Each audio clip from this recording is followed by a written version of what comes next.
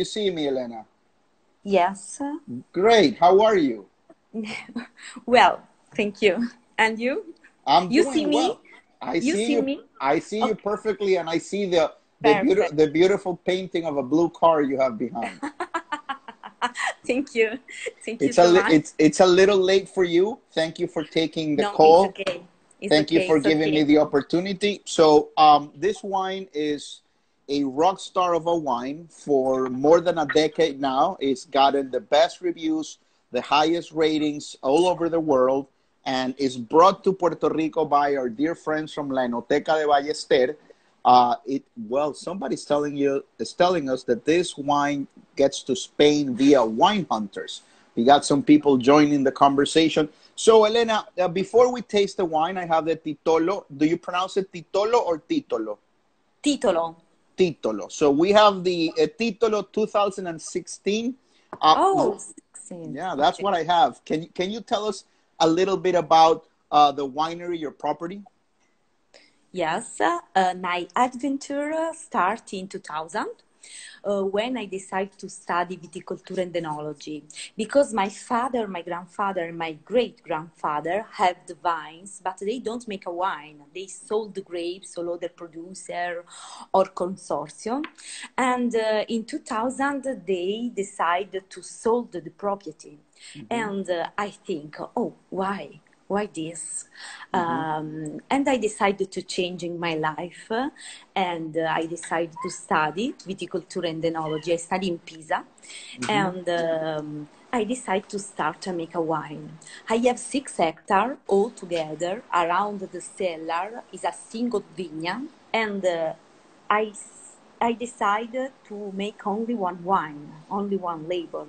This is a Mhm. very very strange because usually not is usually in the in the cellar this, and um, um, I, I I decide with a single vineyard with a single grape I make only one wine, but better I think. Yeah, well, you concentrate all of your efforts in one single bottle, and Yeah. it shows that your efforts have more than succeeded. You have gotten great, great reviews.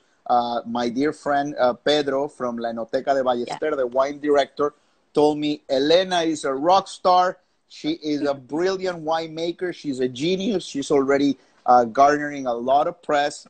Uh, I, ha- I, I had seen this wine in La Enoteca. I have not tried it. This is going to be my first time with you.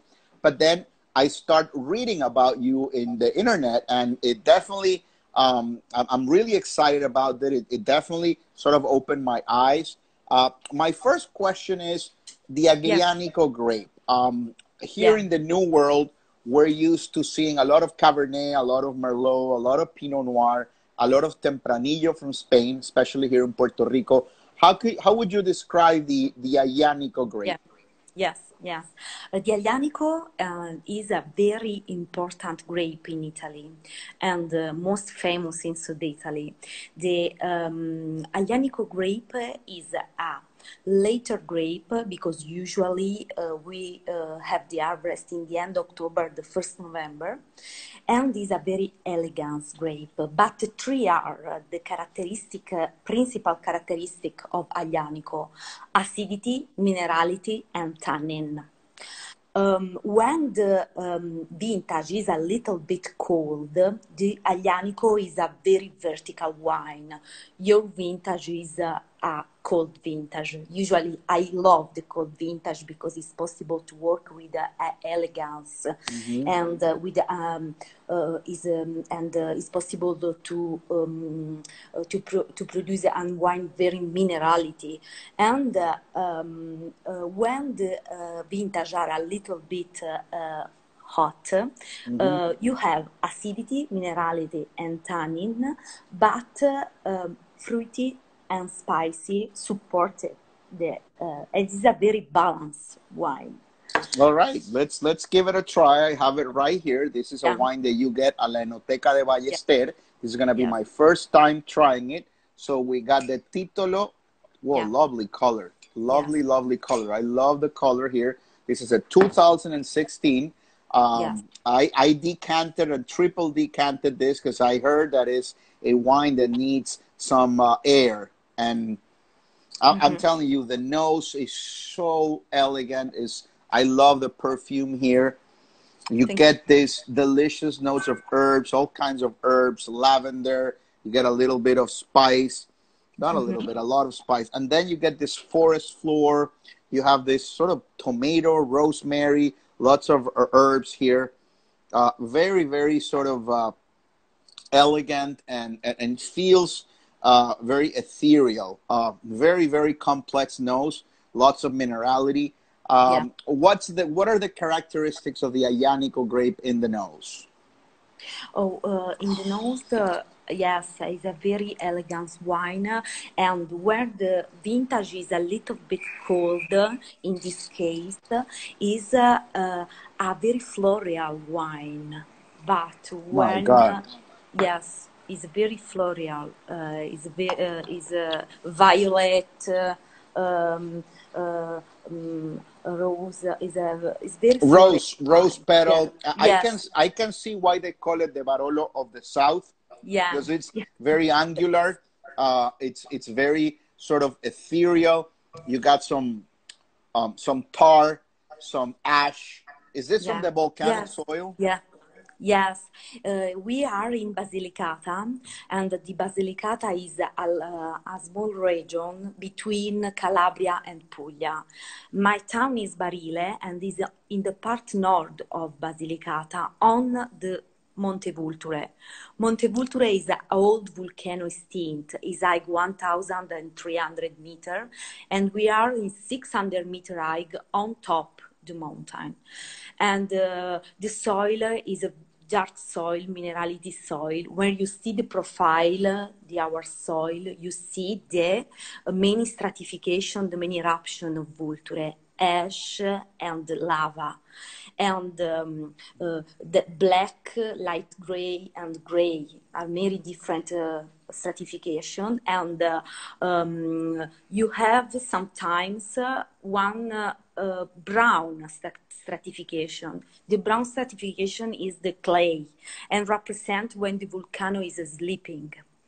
And uh, this is a fantastic one, Elena. Is, this is my God. The nose is I cannot stop smelling it. I'm getting notes of cherry, uh, macerated black cherries and red cherries. Um, getting a little bit of um, graphite, iron, sang, sanguine, blood notes, blood orange, uh, some citric, mm-hmm. if that's possible, some red citric, red, red citrus fruit. It's very complex nose. Wow. I'm sorry. I'm, I'm just uh, I'm just so excited about this wine. It's unbelievable. For those who are watching in Puerto Rico and other parts of the world and who will be watching in YouTube, this is Titolo Aglianico del Vulture or Vulturi. How do you pronounce it? Vulturi? Vulture. This is unbelievable. This is a 2016 but make no mistake, whatever vintage you buy of this wine, you're getting a wine that has more than 93, 94 points constantly. Pedro Alvarado from La Enoteca told me that this is the crown jewel of the south of Italy. So this is delicious. Please, please continue explaining me the uh, Basilicata region. Yes, and uh, the the soil uh, um, have this particular is is a hygroscopic soil because the water, the raining water, draining in the lava ash, and uh, the clay stop the water, and the plants not have a never specific because for the uh, our DOC and DOCG not is a permise the irrigation and um, um, the, the, uh, my, uh, my, vines are highest and oldest in the Vulture, are 600 meter high on top the volcano, mm-hmm. and are 60, 70 year old. And I love, I love the acidity in the mouth, uh, the elegance, yes. the yes. length, the finish. Yeah. Is very very long. It stays with you yes. on the back of the mouth, like very close to the throat for a minute, minute and a half. It's a very yeah. long finish. Yes, it's um it's a totally different uh, um, the normal uh, uh, wine uh, the normal wine Sud Italy because usually when people think of Sud Italy think very hot weather a very strong red wine, but for the Vulture it is not is true because we are uh, on the mountain, we are in the middle, the sea is very far, and the weather is very cold. We have every winter as snow. And the summer and spring are very fresh with the high escursion night and day, 10, 11 grade. This is most important for the Aglianico because uh, the Aglianico is a later grape. Uh, mm-hmm. the harvest later ripening, it ripens yeah, later than others. Yes, and uh, uh, the high escursion night and day help the phenolic maturation and is in, most important for the Aglianico del Vulture grapes in many ways, Elena, you are an ambassador of your region or Basilicata or, or of Italy. Uh, you've been obviously in all sorts of magazines, Decanter, Wine Spectator, Robert Parker, yeah. and you've been obviously uh, promoted or you've been referenced as a brilliant Italian wine winemaker, uh, someone who's giving a lot of uh, uh, getting a lot of great reviews. What what do you try to communicate to your consumers about your region? What's what's your philosophy in making these wines? What do you expect consumers to appreciate about your region, about your wines? Yes, um, I I think is most important uh, for the winemaker uh, the respect for the terroir and the respect for the variety. I usually describe my wine in the modern but not modernist wine. I love modern, that modern because uh, is my vision and is my Aglianico. Mm-hmm. Uh, but not modernist because uh, for me is most important the tradition and the terroir and the uh, respect for the variety. And, and I, I love the color because it does it doesn't have a lot of extraction. It just has the right color. It's not yeah. super dark red. It's like a cherry, beautiful color. Uh, it's it's as you said, it's a, it's a wine that combines power, elegance, finesse, balance, freshness. To me, it's one of those unicorn wines where you have a little bit of everything. You have uh, a lot of uh, sense of place. I mean, this this is not a wine that one is going to uh, it, it, it, maybe mistake for a California wine or Argentina wine. This is uniquely Italian. I mean, it's it, it can only be an Italian wine that knows. Yes, yes, yes. It's a. Um, in terms a... in terms of in terms of pairings, Elena, uh, what do you recommend? Let's assume that some of our viewers will go and buy these wines. What do you pair it with in terms of food? Yes, um, usually in Basilicata we drink Aglianico with um, lamb, um, meat lamb. of lamb. Yes, because the, the acidity clean the palate and help drinkability. And uh, with uh, cured meats and with a, uh, aged um, cheese. Uh, yeah, the, the nose, the nose, Sorry. the nose of this wine has some funkiness, some uh, some cheesy notes, some musky notes. Uh, it's it's it's it's a wine that's it's it's very easy to enjoy, but it's a little hard to describe. It doesn't feel like a commercial wine at all. It's a different wine. Uh, maybe it is because I haven't had that many Aglianico, but it's it's just such such a unique, unique, unique wine. Um, the, the, other question that I have for you is uh, how many countries carry uh, your wine now? Titolo is in how many countries approximately? In uh, uh, we export in uh, 56 countries. Okay. Uh, very mm, we we prefer to divide the the market and uh, um, we we love to work uh, with a small importer in every country because uh, um, we think uh, our wine is important the storytelling and uh, is, is important the story, the terroir, uh, and uh, the Basilicata not is the most famous region, and it's most important to uh, to explain uh, uh, to explain this for the for the people. And I work with my husband. And you work with your husband. Do do you have yeah. a mentor or do you have an inspiration? Maybe a winemaker or a winery that you look up to? Not that you try to copy because you have your own unique style, but is there someone mm. who's influenced your approach to winemaking? yeah. Um, um, I start uh, very young. Um, I start uh, after grammar school and uh, I decide to changing my life uh, and I return to work with uh, my grandfather. Uh, my mommy and my daddy are a teacher. Okay. Beautiful. I, I return to work with my grandfather and my my inspiration is uh, my grandfather. Beautiful. Uh, yes, my, my grandfather today is uh, 94 year old. God bless him. Every every morning in Vigna, every morning at five o'clock, every day. That's that's great. And does he still drink wine? Yeah. yes. Yeah. Well, yes. that's why he's so healthy, and that's why he's had such a long life. Okay, I, I don't want to take you. Yeah, and uh, to, go, go ahead. Go ahead.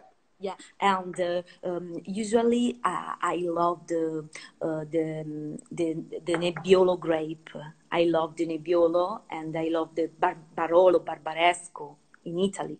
And, yeah, I uh, was going to ask you about that because it's a little late for you. It's about to be midnight, so I don't want to take too much of your time. What are the wines that you enjoy from Italy and from a, from abroad? What are your favorite wines that you drink? Uh, oh, that's a good question. Before you answer that, do you use French oak, American oak, any other kind of Oh, oak? yes, I use French oak.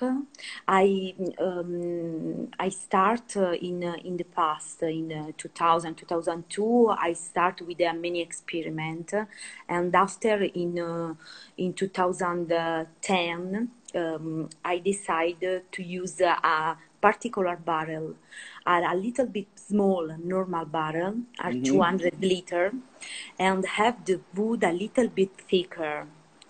Um, is an um, experimentation in 2005 2010 uh, and i decided to use uh, this this uh, this, this uh, hook for all my production after 2010 and um, um, with a, a bar, with a small barrel we have more uh, exposition with a um, micro-oxygenation, but with a wood a little bit thicker, we have a very slowly micro-oxygenation. And we I- have a co- we have a comment here from a dear friend and a great sommelier from Puerto Rico, Sofia, saying, "Mr. Fucci's dried peppers are the best. Got to try them few years back. Anyone makes dried peppers? Yes, peperone crusco is the name in Oh, Basilicata. great, It's a typically, is a typically uh, food in Basilicata. And The- Sofia saying Titolo wine is one of my favorites. Well, she's a great sommelier. So Wow. she, she knows about wine. This this wine is unbelievable. And I think Pedro, please correct me if I'm mistaken. If I am here making a huge mistake, I think this wine is around $38, $39 here in Puerto Rico. Uh, for the for the quality of this wine, that price is super competitive. This is uh, Pedro or Lenoteca. If you guys are around, I think this wine is around 38 $39. Uh, uh, let me ask you, uh, Elena, do you enjoy wines from other parts of the world, not necessarily Italy, France, Spain, New In World? What do you drink? I love the Nebbiolo grape uh, and I love the uh, Barolo and Barbaresco and uh, uh, I love the bab- the bubbles, the sparkling wine. Trento, Trento Doc. Uh, I love I, I love Trento Doc. and uh, in outside uh, Italy, uh, I love the French because The French uh, wines. uh, yes, because uh, usually the Italian people and the French people are fighted, but uh, I think uh, uh, the French wine and the, the work in the wine, uh, the French people is very good. Any region or any grape in particular? Bordeaux, Burgundy, Oh, I love the champagne. Oh, It's champagne. My, is my dream. Yeah, my wife's my wife's favorite is champagne as well. Yeah, Cham- ladies Oh. tend to love champagne, and she likes and she likes she likes the good ones. I mean, Yes, it's uh, difficult to share, but uh, I love uh, I love the champagne, the good champagne, and uh, and I love the Sauvignon Blanc grape. Sauvignon Blanc grape. grape, I love. Yes, is my. what what what? And this is uh, one of the, my last questions. Uh, in terms of the acceptance of these wines in the New World, the United States, have you been? Have you done visits to the United States to promote this wine?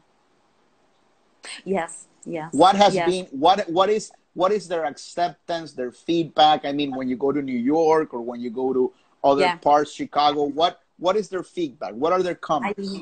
I, I love I love the, the American people uh, because uh, they have uh, more respect for the producer, for the winemaker, and uh, um, um, they are very, uh, very, very happy when they see a young people work in this, in this. Um, in, in this business and um, uh, they uh, they love the Italian life, uh, yeah, the family, the story, the, the, food, the art, the yes, culture. the food, the culture, and uh, um, they are very.